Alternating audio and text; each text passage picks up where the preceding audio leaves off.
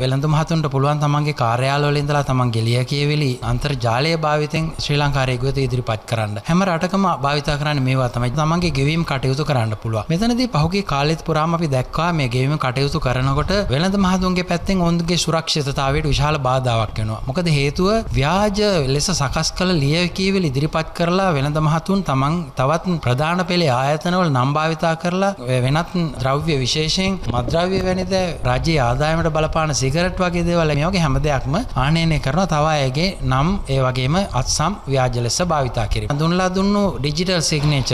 විද්‍යුත් අත්සන කියන කාරණයෙන් මේ ඉතාම සුරක්ෂත වෙන තමන්ගේ සුරක්ෂිත්තාවේ ඒ වගේම පරිගණක කඩයුතුවලින් ලියකෙවල ඉදිරිපත් කිරීමේදී අත්‍යවශ්‍ය සාධකයක් වෙන මේ අස්සනේ සහ තහවුරු භාවය සහතික වෙනවා වංචා දූෂණ කිරීමේ අවකාශය ඉතාමත් අඩුවෙනවා